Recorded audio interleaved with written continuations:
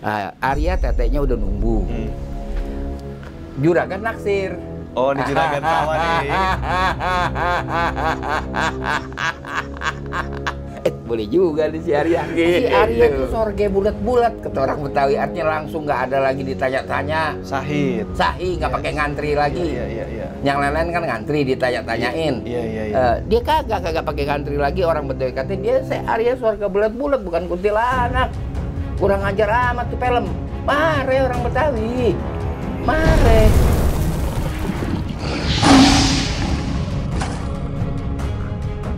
Assalamualaikum warahmatullahi wabarakatuh teman-teman semua balik lagi bersama gua Faskur Seimi di channel Macan Idealis hari ini gua bersama Babe Ridwan Saidi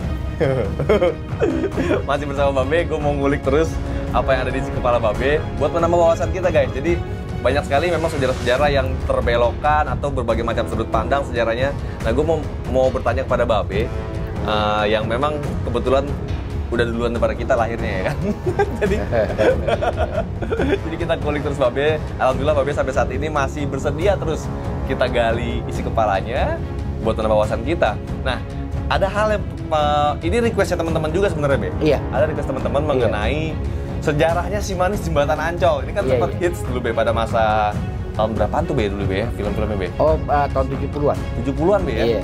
70-an, 80-an. Sana kan antarain pernah memainkan. Oh, tapi berganti-ganti tuh, Be. Ganti-ganti Tapi tokohnya. Berganti-ganti tuh, si Manis Jembatan Ancol. Nah, ini kan banyak hal yang kontroversi mengenai si Manis nih, Be.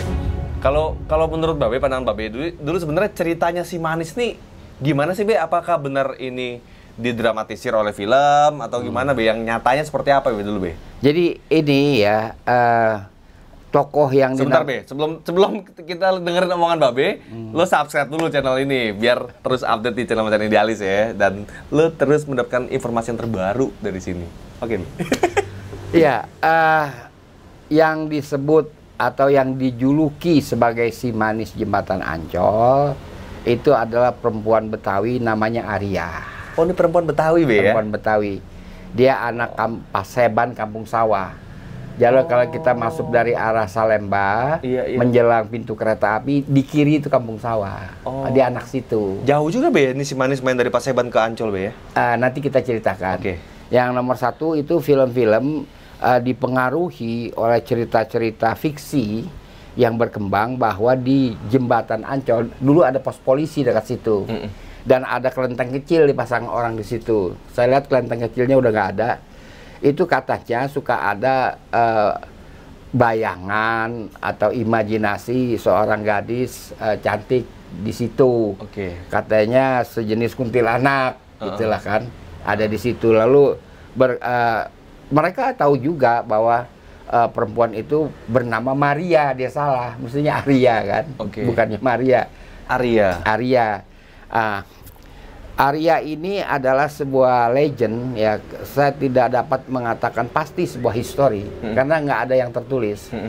itu legend yang berkembang di kalangan Betawi Tengah, eh, khususnya orang-orang Kemayoran, orang Sawah Besar, orang Petojo Mm-mm. itu.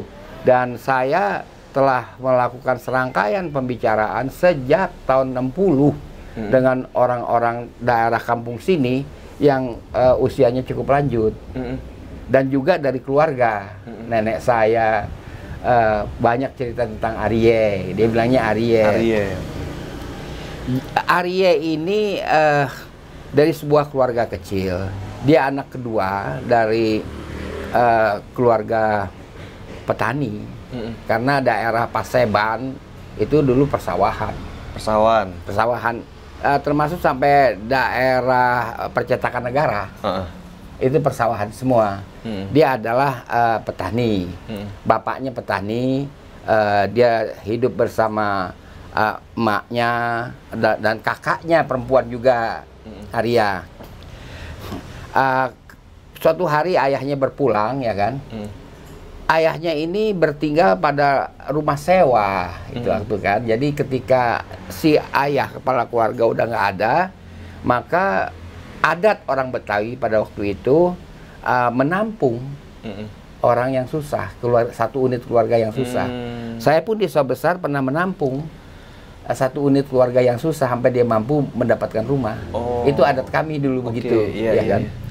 Jadi dia ditampung di rumah seorang juragan sawah. Arya itu waktu belum besar ya. Mm-mm. Eh, eh, ya mas mas di usia balik lah 13. Makin lama makin lama ya kan. Eh, dia besar Mm-mm, gitu kan. mm. Saya nggak enak ya di ruang publik ini mengutip istilah Betawi untuk gadis dewasa. Mm-mm. Apa be? Gak apa biar tahu be istilah Betawinya be. Eh, gadis dewasa itu teteknya udah numbu. Oh gitu oke. Ah, ah, jadi- oh istilah Betawi begitu be ya? Iya. Kalau udah dewasa tetenya numbu deh pokoknya gitu bahasanya.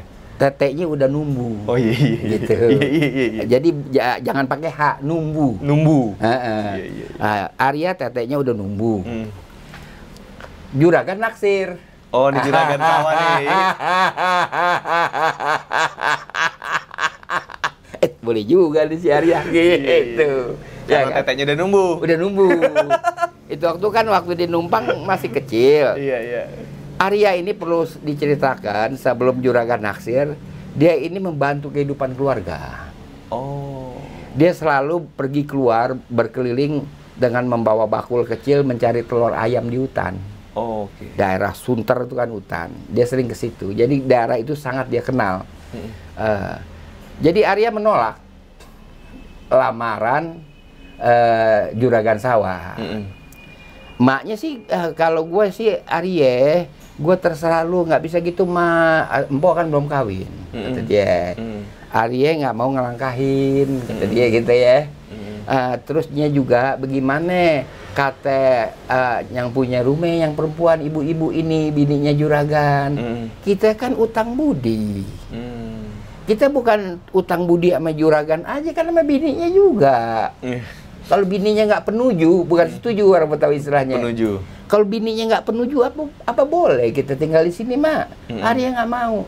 Juragan maksa terus. Mm. Dia kabur Mm. dari rumah. Itu daerah Paseban awalnya tuh. Eh, iya di Paseban Oke, dia iya. kabur dari rumah. Dia kabur dari rumah. Ah, dia nggak tahu ke mana mau lari ya kan. Mm. Kalau orang Betawi itu kabur dibilangnya belayar. Belayar. Eh, eh. Ma, Arya belayar ya katanya gitu. Heeh. Arya lu tinggalin gue katanya gitu ya. Mak, maknya sedih. nggak mau mak katanya gitu. Iya. Dia pergi, pergi jalan-jalan sampai Sunter eh, ada bendungan yang namanya Bendungan Dempet. Oke. Eh di Bendungan dempet. itu dia Ah. sampai bendungan dempet dia nggak tahu ke mana Eh, family nggak ada apa nggak ada mau ke mana dia bawa dirinya Mm. dia ke bendungan dempet di situ ada piun dan sura Oh. Piun siapa dan be? piun dan sura ini bekerja untuk Ui Tambahsia Oh. yang punya villa oke. bintang Iya, iya, iya. mas Cina itu be ya? iya Iya, iya Cina yang Iya. tukang ngambil anak orang. betul jadi Ui Tambahsia itu eh, apa time frame-nya pertengahan abad 19 jadinya Oh, Oke. Iya kan? Iya. Jadi itu zaman tidak terlalu jauh dengan nenek saya. kan gitu. Oh. Jadi eh, eh, siapa eh, Piun mau nyeret dia, dia mau dibawa ke Bintang Mas. Mm-mm. Si Piun kagak tahu bahwa Arya ini mau mau ngasih ilmu bela diri, katanya pencak silat. Oh, ini jago silat nih, Be? Jago anak. Oh. Itu nggak ada kali perkelahian dalam sejarah ya. Arya dikepung dua orang, ya kan? Itu perkelahian bergerak, move on dari bendungan Dempet Sunter Iya. sampai ke jembatan Ancol. Wow. Iya. Terus dia berantem sampai jembatan Ancol. Pada satu titik ya, Arya pukul si Piun. Piun jatuh. Arya pikir udah selesai si Piun dia pukul. Dia berbalik ngadepin si Sura. Ke waktu dia ngadepin si Sura, Piun bangun tikem dia. Persis di jembatan Ancol.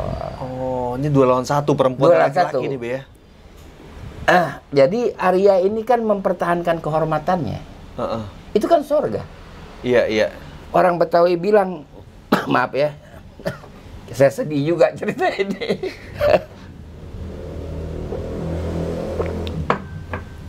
orang Betawi yang saya temuin itu waktu bilang si Arya itu sorge bulat-bulat kata orang Betawi artinya langsung nggak ada lagi ditanya-tanya Sahid. sahi nggak Iya. pakai ngantri lagi Iya, iya, iya. yang lain-lain kan ngantri ditanya-tanyain Iya, iya, iya. Eh, dia kagak kagak pakai ngantri lagi orang Betawi katanya dia saya Arya sorga bulat-bulat bukan kuntilanak kurang ajar amat tuh film. Mare orang Betawi.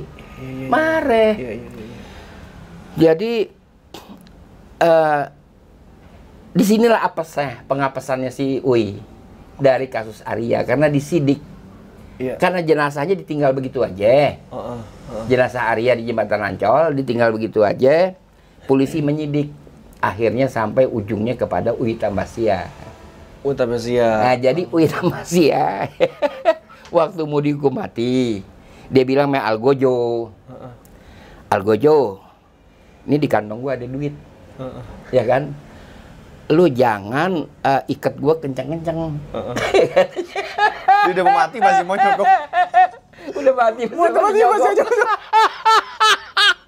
Lu jangan ikat leher gua kencang-kencang juga lu jangan engkuk-engkuk engkuk-engkuk kan digini-giniin lu jangan engkuk-engkuk ya Iya, iya. tambangnya jangan kenceng ngejirat gue Iya, iya. juga kepala gue jangan lu engkuk-engkuk gitu katanya nih ada duit di kantong gue Iya, iya. ntar waktu gue udah jadi bangke Iya, lo ambil dah. lu ambil dah.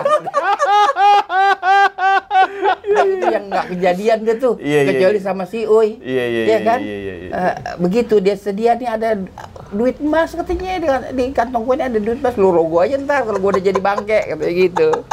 Kata si Uy. Be, tapi si Arya ini atau si manis jembatan Ancol ini memang memang terkenal cantik ya Be dulu Be ya? Cantik. Oh, cantik. Iya iya iya. Dan itu emang dikenal di wilayah sekitar Paseban tuh dia cantik ini orangnya. Eh, kan ah, anak dulu kan ya nggak pakai kebaya, cuma Hmm. kain aja dikemben. Oh. Jadi dia kata orang Betawi bebodi. Body. Bebody. Oh, iya iya, bebody Be. Iya. Iya iya iya. Udah. Iya iya. Sampai bebodi tahu. Ya stop. Jadi eh, diuruslah Arya ini oleh polisi Mm-mm. dan bahkan disidik sampai akhirnya Uy yang kena ya kan Oke. Eh, biangnya Uy dalangnya kan Heeh.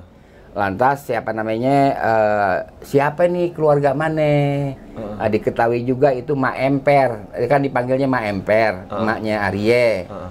Emper tuh bahasa eh, eh, anunya umumnya disebut pavilion itu orang Betawi bilang emper Heeh. kan kalau kita punya hop kebo rumah gede ya kan ada pavilion Heeh. pavilion itu emperan itu kita pakai buat orang yang susah kita tampung di situ Oh, itu ada tampung di emperan deh, di gitu ya? emperan Oh. jadi eh, ibunya disebut mak emper Oh. jadi mak emper itu diberitahu polisi Mm-mm. dan ini perkara juga ditanganin di landrat ya kan terus orang kampung pada eh, eh, apa eh, datang kan Mm-mm.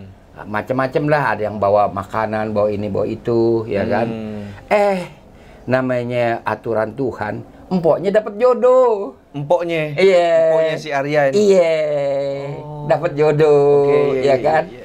Ya, be- eh, begitulah kehidupan keluarga Arya. Iya, iya, iya, Ya, Mak Emper kata ya ini kuasa Allah, kata kuasa Tuhan, kuasa yang di atas deh, Iya, katanya iya, iya, gitu.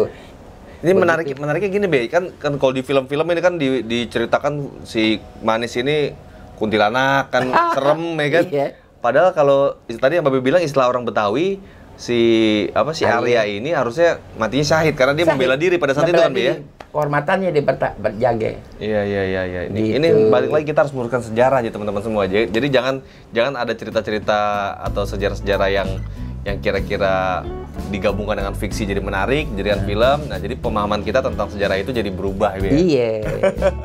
ya, teman-teman semua, kira-kira seperti itu diskusi kita mengenai si manis jembatan Ancol eh, atau yang kita sebut Arya. Jangan lagi kita istilahkan si manis itu adalah se- Setan. orang bilang setan. Iya. ya gitu ya. Jangan lupa like dan share video ini, share ke seluruh sosial media kalian baik itu Facebook, WhatsApp, grup semua share biar orang makin memahami apa sih sebenarnya cerita yang sebenarnya dahulunya seperti apa sih manis ini. Nah, subscribe channelnya, klik tombol loncengnya biar lo terus update di channel Macan Idealis. Assalamualaikum warahmatullahi wabarakatuh. Waalaikumsalam.